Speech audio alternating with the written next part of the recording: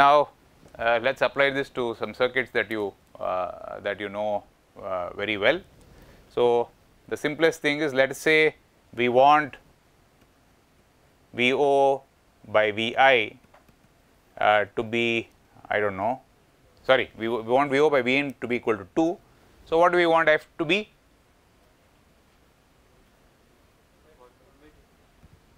Remember that VO by Vn is now is uh, if the loop gain tends to infinity VO by Vn must be equal to 1 by 1 by f which is uh, in this particular case uh, 1 by 2. So, uh, this is Vn and uh, this is half and this goes to an amplifier. Ideally what we want what do we want A to be? Ideally we want A to be infinity, but in practice you know uh, uh, please recognize one thing nothing in the world which is supposed to be infinite will be infinite, nothing in the world which is supposed to be 0 will be 0 alright.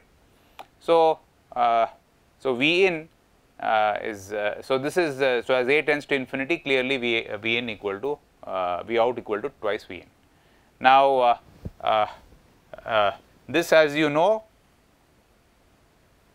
so, now if somebody wants a gain of, of uh, say 5, what will you do? The only thing that needs to be changed is, I mean assuming that that A is very, very, very large, then if you want to get a different gain, the only thing that needs to be changed is the feedback factor, you change it from 1 by 2 to 1 by 5. Okay. So, now uh, you know uh, so if you are a, a, company building amplifiers uh, this is a great business opportunity uh, because what will you do? What will you sell? One thing you can do is you set up a website where somebody keys in the gain uh, you know uh, that they want and all of a sudden you have a technician here who goes and finds the appropriate you know find put some appropriate feedback factor and then builds the part and then ships it out right. Is there a smarter thing to do? Yeah. So, basically uh, right. Uh, so, if you want a job you apply to him. Hmm? Okay. So, uh, the uh, the business the case to the thing to do is basically say forget about I am I'm not going to be in the in the business of uh, figuring out what value of resistors I must use to get that appropriate feedback factor.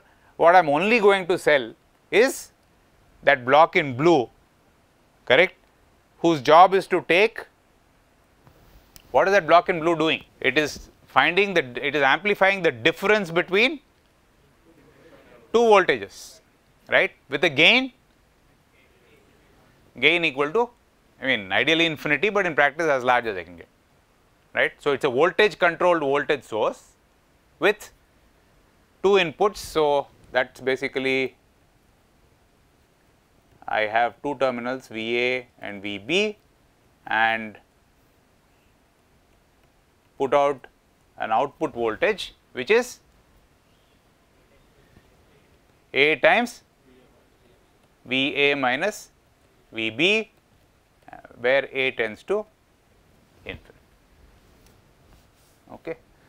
So, if you go and buy an off the shelf uh, uh, contraption like this that A will be 10 power 7, 10 power 8 whatever. Okay. So, uh, uh this way what I do not have to bother with uh, with anything I just keep selling this as a general purpose building block. He wants a gain of 2, he will put a feedback factor 1 by 2. If uh, somebody else wants a feedback a gain of 2.42, uh, he, he, or she will put uh, a feedback factor of 1 over 2.42, right. So, the user basically decides what feedback factor he or she wants. Okay. The only thing that the company sells is uh, is this uh, this box which uh, simply gains up the difference between two voltages by a large number correct. So, this is called the operational amplifier.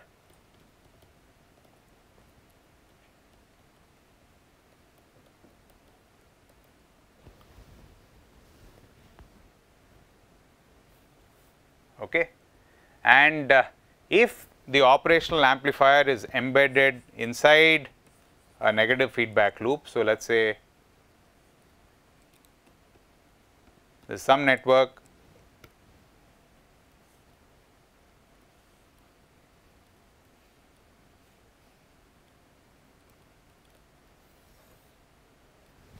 Okay. So, V A, V B and some V C. Okay. And first of all, how will we figure out if there is negative feedback around, uh, if this op amp is part of a negative feedback loop, how will we figure that out? Pardon? Okay, well, uh, we do the same thing that we uh, did before, namely you break the loop, you yank one side up like this some delta V, you go through the network and then come uh, see what comes back. What if, if what comes back is in the opposite direction of what you put in, right? Then, then uh, the, uh, the operational amplifier is inside a embedded inside a negative feedback, loop, correct? Now, if the op amp is embedded inside a negative feedback loop and the gain is infinity, let us assume that the op amp is ideal for the time being and that the gain is infinite, what comment can you make about the error voltage? For example, look here, this A is infinity, right, and uh, the uh, and uh, the circuit is working, correct when you say circuit is working, what does it mean? No quantity inside the loop becomes, no voltage or current becomes, no voltage or current will become infinite. Do you understand this much or no? Okay. So, if the output voltage VO is, is finite and if the gain A is infinite, what comment can you make about uh, uh, the difference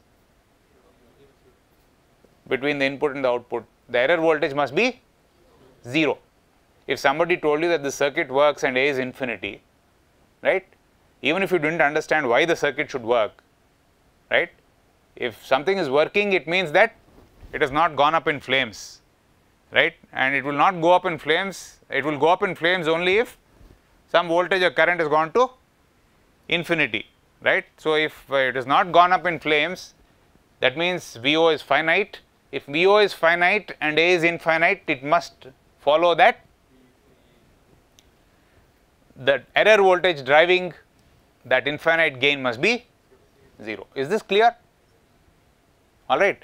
So, therefore, if, if, if an op amp therefore is a part of a negative feedback loop, okay, all right, then it must follow that the error and the, of course, the uh, assumption is that the op amp is ideal. So, that its gain is infinite then what comment can we make. So, that basically means that uh, the op amp is in a negative feedback loop and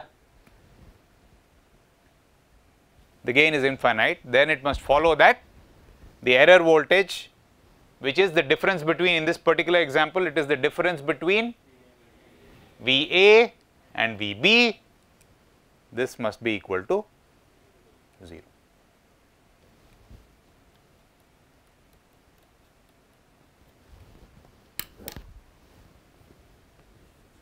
Does make sense? All right, and of course, we, uh, the op amp is a uh, it's a voltage controlled voltage source. So, what comment can you make about the current flowing in?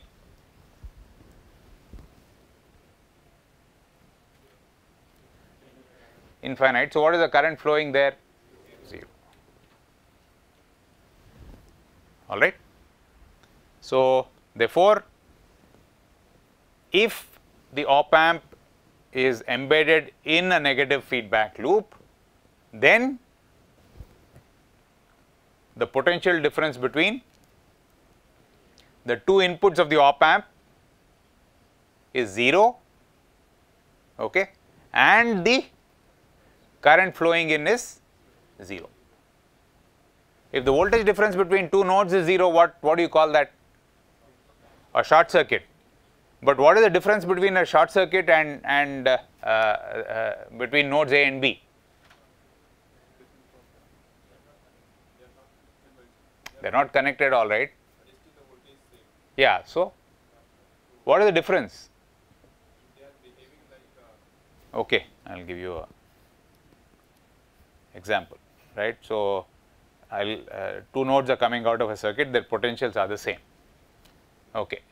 Uh, a one in one box there is an op amp embedded inside a negative feedback loop. So, right and I am bringing these two terminals out. So, the terminals are going inside somewhere, but I am just bringing these two terminals out. In another case I have a, sh a real short circuit. So, what is the difference between the two? So, what is the definition of a short circuit? Two nodes are a short circuit if the potential is the same and the potential you can pump in whatever current you want. Okay?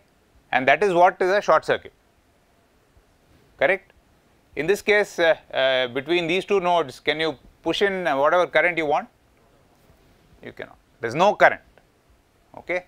The, vo the voltage is the same but there is no current. So, this is this is like a short circuit, but not a short circuit. So, this is what is called a virtual short okay? And uh, uh, so uh, the key point see a lot of people have this I mean this this ill conceived notion that if you take an op amp the difference between the two input voltages is is 0 is that correct or wrong? What is wrong about it? Only if the op amp is part of a negative feedback loop. Okay if there is no negative feedback, then uh, you know, uh, then uh, this will not be true. Now, let me ask you another question. So, let us say we break the loop somewhere say here and we uh, apply a voltage in that direction sorry we apply a voltage uh, delta V in that direction. What comes back is a voltage uh, going in the same direction at the other end of the loop right uh, what does this mean? This is positive feedback, correct? All right. And uh, so, uh, if you want to make it negative feedback, what will you do? Change the signs of the op amp, right, by flipping the input connections, right? And in which case, you will get the output going in the opposite direction, right? Because many times you will not be able to, I mean, in a circuit, it will not be uh, you know as I said life does not come in block diagrams right. So, it is not that when you are designing circuits you will uh, you know uh, you will see some square coming up in front of you saying forward amplifier another uh, square coming up triangle coming back uh, saying uh, feedback block and something sticking out saying error voltage okay you have to look at the circuit and and figure out what is what okay and uh, make sure that there is negative feedback. Of course, in all the simple circuits that you have done, you you most likely mugged up the signs, okay, because because that's what is there in the textbook, okay. But uh, uh, in reality, when you are going to be inventing new circuits all the time, right, and uh, uh, uh, that means it's not there in the textbook, which means you have to go and figure out what the the signs of the op amp should be okay and uh, the recipe is very straightforward. You break the loop, you yank one side up, see what comes back. If what comes back is in the same direction as what you put in, it means that there is positive feedback. So, you flip the signs of the op amp. So, you assume some arbitrary signs first, see what comes back. If what comes back is the same as uh, you know what you put in, that means that there is positive feedback. Otherwise, there is negative feedback. All right. Okay. So, with that I will stop, we will continue.